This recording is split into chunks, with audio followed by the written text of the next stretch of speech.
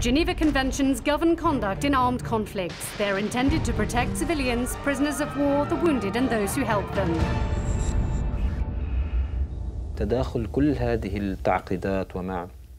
As the Syrian crisis developed, you could see how all types of violence took shape. And we can confirm that sexual violence has sometimes been turned into a weapon of war. The Hazzm, the main armed movement of the Syrian secular opposition, pledged in 2014 to ensure that none of its fighters used sexual violence. A representative of the NGO Geneva Call, Youssef Wehbeh, led the negotiations with the armed group. Contacts with Hazzm had been going on since the movement was created. We organized training in Syria on international humanitarian law. Hazzm said it wanted to sign up to the commitments of the Geneva Accord supporting humanitarian law.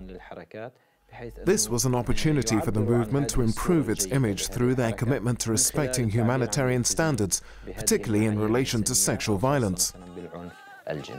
It wasn't until the Fourth Geneva Convention of August 1949 and Section 27 that there was a designation of sexual crime, including rape and forced prostitution, as being something that was prohibited.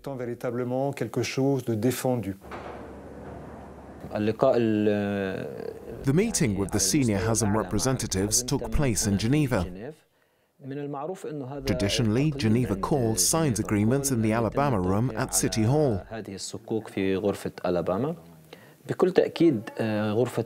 The Alabama Room is a historic location.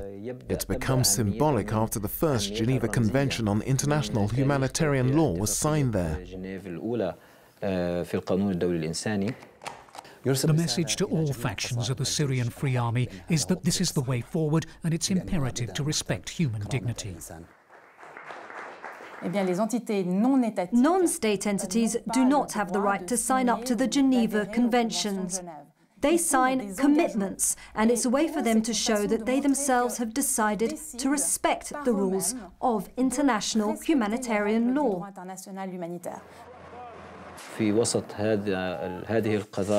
Amidst all the ignominious acts of war, where killing is unfortunately permitted, it's important every day that people work to minimize suffering.